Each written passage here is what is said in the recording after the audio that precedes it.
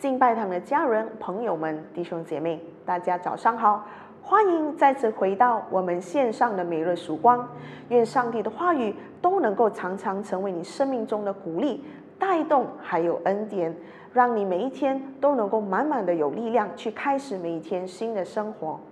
今天我们要来看这个的主题是：爱里没有惧怕，爱里没有惧怕。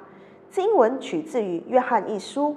四章十六至十九节，约翰一书四章十六至十九节，我们来看神对我们的爱，我们已经明白了，而且相信了。神就是爱，住在爱里面的就住在神里面，神也住在他里面。这样爱在我们里面就得到成全，使我们在审判的日子可以坦然无惧。因为他怎样，我们在这世上也怎样。爱里没有惧怕，完全的爱可以把惧怕驱除。因为惧怕含有刑罚，惧怕的人在爱里还没有完全。我们爱，因为神先爱我们。首先，基督徒要学会在生活中来实践，去实习这个基督的爱，主动去学习。去爱上帝，还有爱人。除此之外，要学习以宽广的心来的去接待，还有去接纳别人。特别可能是在我们生命当中出现的所谓一些不可爱的人，可能上帝是要我们多加去留意、关怀，甚至是主动去爱他们的一些人。在我们的日常生活中，让我们。都能够去流露基督的爱，让别人能够透过在我们的生命当中去见证这个在爱里面没有惧怕的那种基督的爱的生命。无论是在我们的朋友圈里面，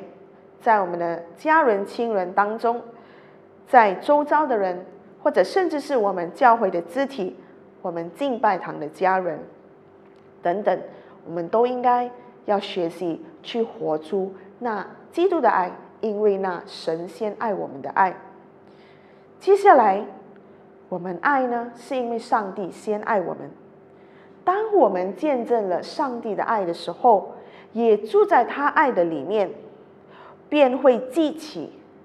爱上帝还有爱人的心，去推动我们，去激励我们，去能够去胜过，让我们能够去爱人，去爱神。因为上帝爱我们呀，他以他的爱来接纳我们，所以我们也可以必然坦然无惧的来到上帝的施恩宝座面前，不用惧怕刑罚。因此，我们要做的是什么呢？我们就是要做的，除了对上帝存一颗敬畏的心，我们也可以去接纳一些之前我刚才说的。上帝要我们去爱和接纳的一些人，可能是一群人，因为的确在这段经文里面所说的爱里是没有惧怕的。当我们在主里面的爱得以完全，那么我们就知道上帝就是我们的这个确据，我们的安全感，我们生命的保障。我们活着在这世上的信心，甚至我是我们拥有了这个永恒生命被得救回来的这一个的超越我们凡人所要活出的这一种的信心。在这一段的疫情，可能在这一段的季节里面，有一些的人可能在我们当中，或者是你身边一些周遭的人，你都会发现，有时候会活得很慌张，感到很惧怕。但是我们要知道，其实惧怕的心会使一个人的信心逐渐的枯萎，逐渐的消灭，逐渐的会被吞噬，会被那种惧怕，会被那种恐惧去笼罩在我们的思想，在我们的心灵，而逐渐我们在上帝里面的信心，有一天也将会慢慢的消退。鼓励大家的是。基督的爱已经使我们在它里面得着完全。上帝给我们的爱是一种肯定，是一种确据，相信他依然掌权，相信他依然赐给我们平安，相信我们依然是活在主爱里面的。同时，也要趁这个机会鼓励大家，虽然我们还没有知道正确的这个实体的聚会的开始，可是也要鼓励敬拜堂的家人、弟兄姐妹、朋友们，当有一天我们敬拜堂真正真正的开启这个开始这个实体聚会的时候，鼓励大家一定要去踊跃的去奔向神的家，回到来敬拜堂的家里面，叫要跟弟兄姐妹在一起，要来到再次的敬拜神，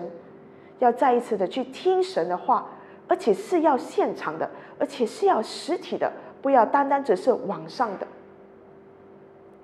曾经在这段的期间，我也看过一个一段的视频，我觉得蛮有意思的。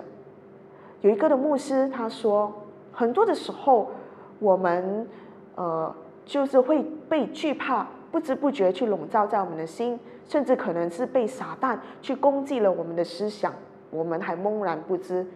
因为在这疫情开始减缓的时候，很多的人已经开始复工复学。已经可以开始跨州，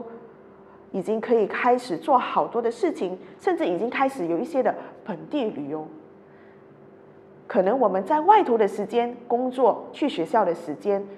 我们可以花可能八到九个小时，甚至是更久。又或者是我们跨州可以三到四个小时，我们去一些的地方，但是我们却害怕要回到来教会，每个星期花那一个小时半的时间而已。让他去敬拜神，我们觉得很害怕，我们会觉得很惧怕。可是这个就是撒旦的诡计，所以鼓励弟兄姐妹不要中了魔鬼的诡计，要继续的活在上帝的爱里面。